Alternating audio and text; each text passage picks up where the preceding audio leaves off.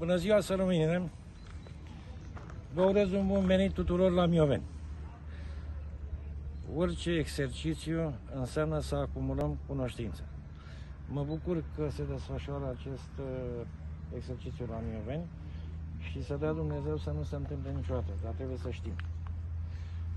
Dacă tot uh, s-a făcut atâta mobilizare, sper să fim concentrați asupra etapelor acestui exercițiu și toate acțiunile la nivel național și la nivel județean care s-au desfășurat uh, la Mioveni s-au încheiat cu succes și cu rezultate maxime. Sper ca și exercițiul de astăzi să iasă așa cum a fost uh, planificat.